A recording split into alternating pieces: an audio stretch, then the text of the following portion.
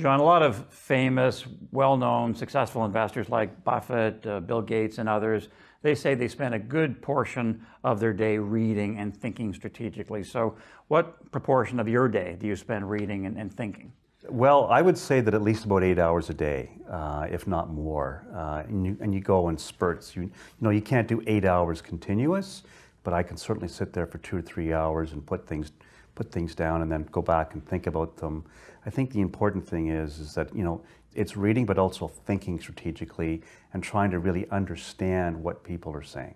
Now, obviously, you want to be productive, you want to be efficient, you want to filter out stuff that's not relevant to you or to, to your to your thinking. How do you do that? How do you approach that? It's challenging, quite frankly, because you know, given today's internet age, uh, you know, people can go to all kinds of different channels, like our platform at Uncommon Sense Investor.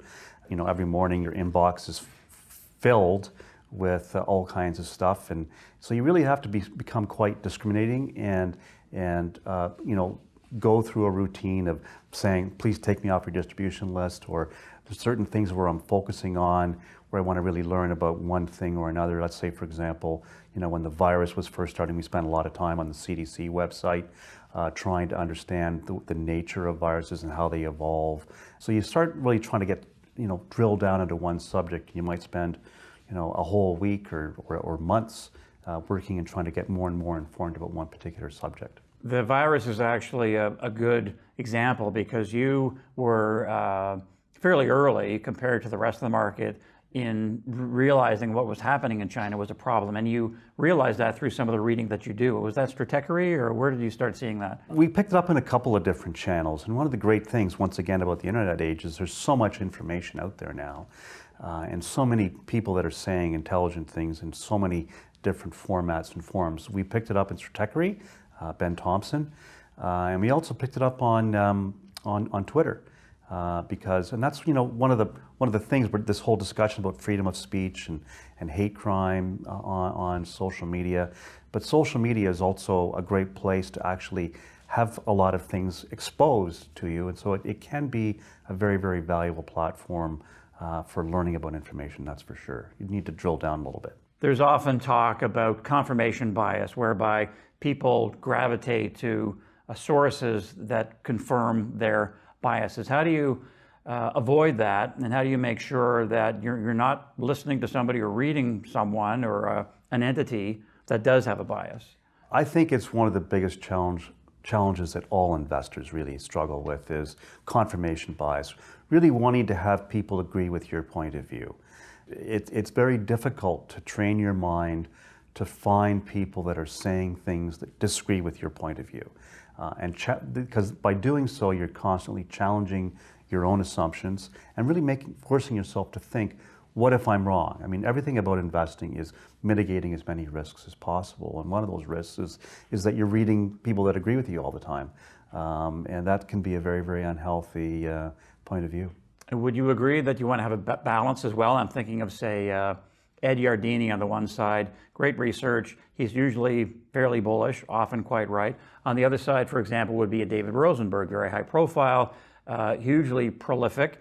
He doesn't really agree with it, but he's seen to be a little more bearish, although he is bullish on, say, Japanese stocks and gold and other uh, areas. So you read one, you read the other, and then you make up your mind, right?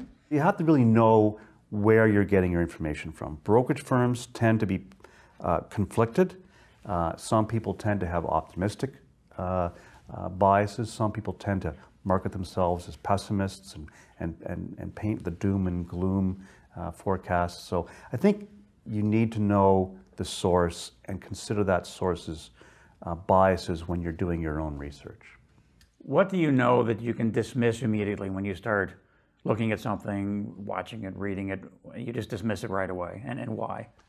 I, I think price targets are usually uh, pretty meaningless.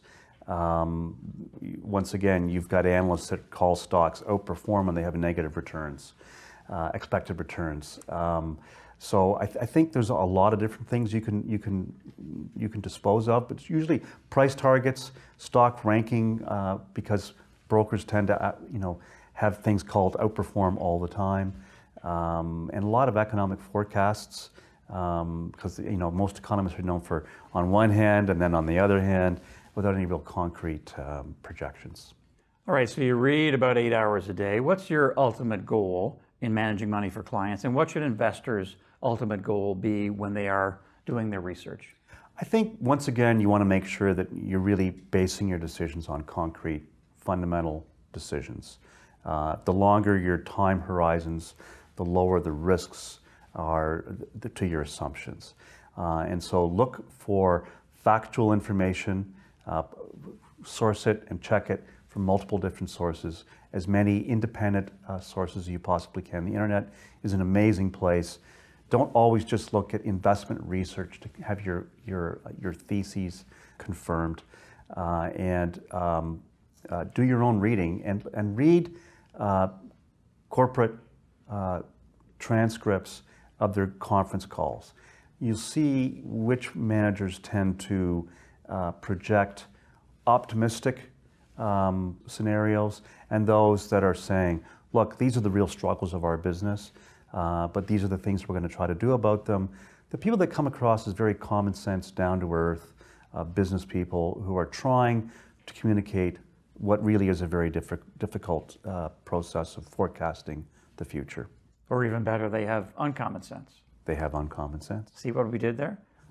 that was good.